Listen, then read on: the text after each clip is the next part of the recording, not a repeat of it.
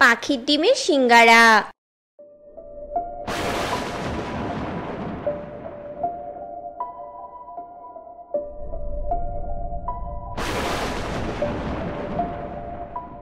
টুনটুন, এই টুনটুন, তোকে তো আজ মেরে আমি তোর পিঠের ছাল তুলে নিব। আয় এদিকে আয় বলছি। কি রে দূরে দাঁড়িয়ে আছিস কেন? একবার শুধু ঘরে ঢোক। দেখ, তোর কি করি আমি?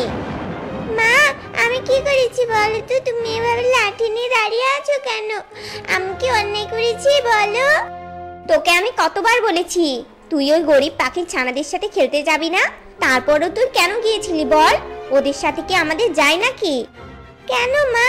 ওরা গরিব দেখি কি ওরা পাখি না নাকি বলো তো? তাছাড়া ওদের সাথে খেলতে আমার খুব ভালো লাগে। কুহু শালু পারুল, ওরা ওরা অনেক ভালো মা। তুমি কেন বুঝতে চাচ্ছ না? কি? আমার মুখে মুখে তর্ক? তবে রে, দাঁড়া। আজ তোকে আমার হাত থেকে কেউ বাঁচাতে পারবে না। মা, ও মা, আমাকে আর মেরো না, মা, আমাকে আর মেরো না। আগে বল, আর ওই ফকিনের বাচ্চাগুলোর সাথে খেলতে যাবি? বল। না, মা, না, আমি আর কখনো ওদের সাথে খেলব না। তোমাকে কথা দিচ্ছি। তবু আমাকে মেরো না। আরে আরে, টুনি, এভাবে মেয়েটাকে মারছিস কেন? এত ছোট একটা বাচ্চা মেয়েকে কেউ মারে নাকি হ্যাঁ? ও বাবা, এ তো দেখছি দরদ একেবারে উতলে পড়ছে। শোন কাকুলি, আমি আমার মেয়েকে কীভাবে শাসন করব, সেটা কি আমি তোর থেকে শিখব নাকি শুনি? আর তোকে আমি বলেছি না, তোর এই বিচ্ছিরি চেহারা নিয়ে আমার বাসায় আসবি না? সত্যি টনি, তোর অহংকার এতদিনে কমলো না।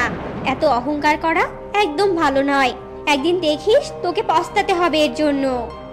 এই, তোর জ্ঞান আমি শুনতে চেয়েছি। যা ভাগ আমার বাড়ি থেকে, নয়তো ঘাট ধাক্কা দিয়ে বের করে দিব। টুনির এমন কথা শুনে কাকুলি কাক সেখান থেকে চলে যায়। এইভাবে অহংকারী টুনি দিন কাটতে থাকে। একদিন টুনি দিদি, ও টুনি দিদি, বাড়িতে আছো? একটু বাইরে বেরিয়ে আসো না টুনি দিদি।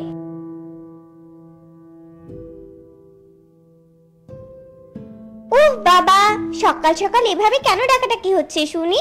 এটা একটা ভদ্র পাখির বাসা। সেটা কি আপনি ভুলে গেলেন নাকি, দাদা? কি হয়েছে এখন বলুন? টুনি দিদি, আসলে কাল আমার মেয়ের জন্মদিন। তাই জঙ্গলের সব পাখিদের নিমন্ত্রণ করেছি। তাই ভাবলাম, তোমাকেও নিমন্ত্রণ করি। কাল আমার মেয়ের জন্মদিনে তোমার মেয়েকে নিয়ে আসবে কিন্তু। কি? কি বলে তুমি, দাদা? তোমার মেয়ের জন্মদিনে আমি যাব? আমি হলাম এই জঙ্গলের সবচেয়ে ধনী আর সুন্দরী পাখি। আমি কিছুতেই যাব না। ছি, তোমাদের ওসব বাড়িতে আমি এক মিনিটও থাকতে পারব না। এত অহংকার করা একদম ঠিক নয়, টুনি দিদি। ধনী হোক অথবা গরিব, কেউ নিমন্ত্রণ করলে সেটা গ্রহণ করতে হয়। এত অহংকার কেন করছ? আমার মেয়ে তো তোমার মেয়ের বান্ধবী। তো কি হয়েছে, শুনি? এত কথা আমি শুনতে চেয়েছি।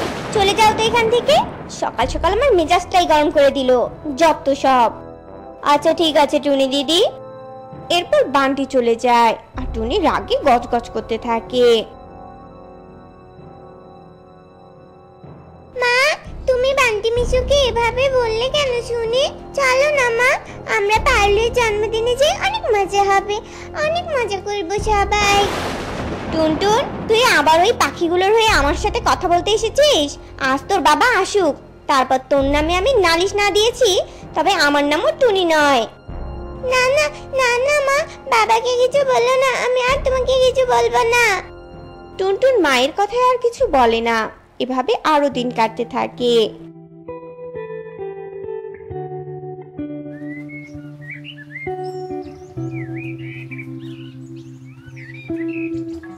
এর মাঝে টুনি গর্ভবতী হয়। আর গর্ভবতী হয়ে টুনি ভীষণ খুশি হয়। মা ও মা আমার একটা বোন হবে তাই না মা? আমার বোনকে আমি ভীষণ ভালোবাসবো। হ্যাঁ রে মা তোর যা ইচ্ছা তুই তাই করিস। অত ভাবিস না তো এখন ঘুমা। কাল সকালে আমরা গাড়ি নিয়ে ঘুরতে বের হব। ইয়ে আচ্ছা ঠিক আছে মা।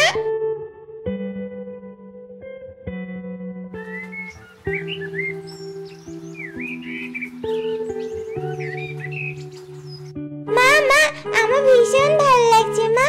একে, মা, তুমি জোরে গাড়ি চালাচ্ছ কেন? আস্তে গাড়ি চালাও, মা।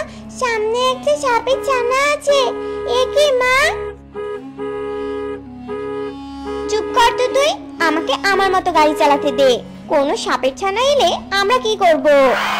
টুনি এসব বলতে বলতে টুনির গাড়ির সাথে একটা সাপের ছানার অ্যাক্সিডেন্ট হয়। একে, মা, সাপের ছানাটি অ্যাক্সিডেন্ট করেছে, মা। তুমি এটা কি করলে? চলো মা আমরা ওকে হাসপাতালে নিয়ে যাই, নয়তো মরে যাবে। ধর, মরলো তো আমি কি করব বলতো? ওরে বাবা রে মা কোথায় তুমি? আমার কাছে আসো মা, আমার যে ভীষণ কষ্ট হচ্ছে। মা কোথায় তুমি? আমি মনে হয় এখানেই মরে যাব। সাপের ছানা এভাবে বলতে বলতে সেখানেই মারা যায়। এমন সময় মা সাপ সেখানে চলে আসে। একে মা শঙ্খী, তোর কি অবস্থা হলো? মা তুই কথা বল। মা, তোর কিচ্ছু হবে না। হায় সৃষ্টিকর্তা, তুমি কেন আমার সাথে এমনটা করছ? কেন আমার মেয়েকে কেড়ে নিলে? ছাড়বো না, আমি ছাড়বো না। যে আমার মেয়েকে মেরে ফেলেছে, আমি তাকে কিছুতেই ছাড়বো না। আমি এক্ষুনি নাকরাচ্ছে যাব। আর জাদুরানায় দেখব। কে আমার মেয়েকে মেরেছে? এরপর মা সাপ নাগরাজ্যে গিয়ে জাদুর আয়নায় টুনিকে দেখতে পায়। ও, তাহলে তুই? ছাড়বো না। আমি কিছুতেই তোকে ছাড়বো না।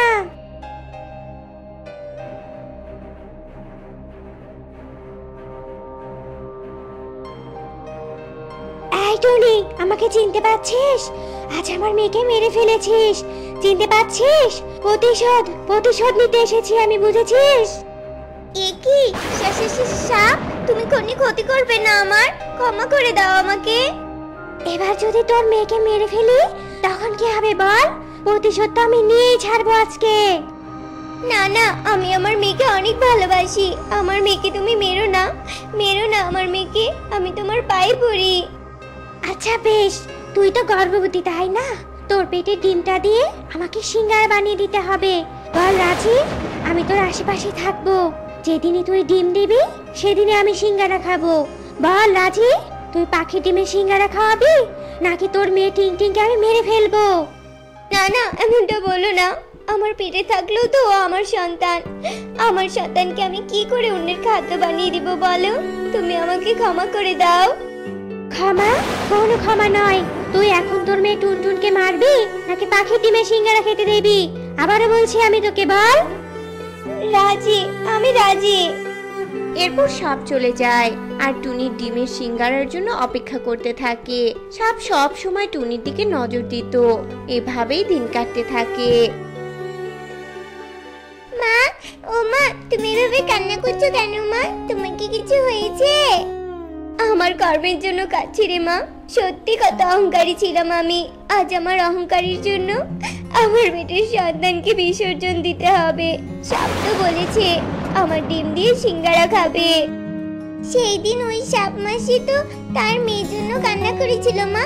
এখন বুঝলে তো সন্তান হারানোর কষ্ট কাকে বলে? হ্যাঁ রে মা হ্যাঁ।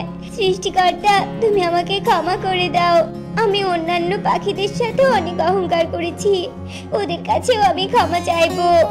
এরপর টুনি সবার কাছে গিয়ে ক্ষমা চায়।